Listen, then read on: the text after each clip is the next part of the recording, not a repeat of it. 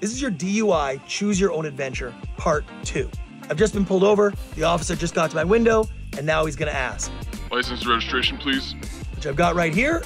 I'm gonna hand that to him. Now he's gonna be all friendly, he's gonna ask me a bunch of questions. Where are you off to tonight? Where'd you have dinner tonight?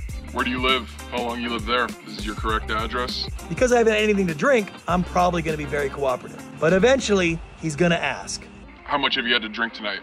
Now, I haven't had anything to drink, so of course I'm gonna say, Not a thing, officer.